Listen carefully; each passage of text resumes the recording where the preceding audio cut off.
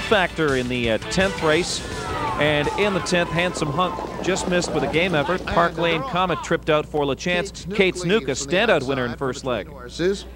Park Lane Comet with Handsome Hunk and along the inside, Brilliant HR. Around the first turn. And LaChance will put Park Lane Comet on the lead. Up on the far outside, Kate Snook with Brilliant HR third. And then Handsome Hunk fourth by two. After that, it's Moonlight Raker. Three more. What do you say, Marty?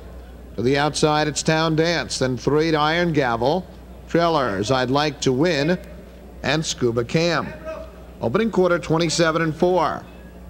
Race down the backstretch.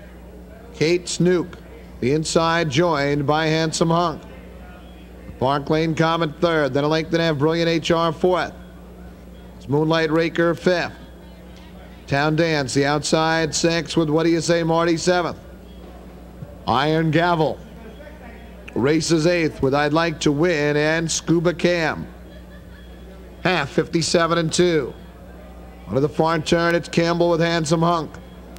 They enjoy a length and half lead over Kate Snook. Off stride goes Kate Snook.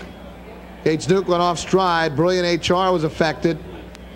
Park Lane Comet in third. Another two back Moonlight Raker. They approach three quarters. Handsome Hunk on the inside, on the outside, Kate Snook. Stalking those leaders, Park Lane Comet. Three quarters, one, 27 and two. They come to the top of the stretch. Kate Snook and O'Donnell with the lead length and a half. Park Lane Comet second. I'm on the far outside. Moonlight Raker. It's Kate Snook. Park Lane Comet, far outside Moonlight Raker, one final move. Not enough.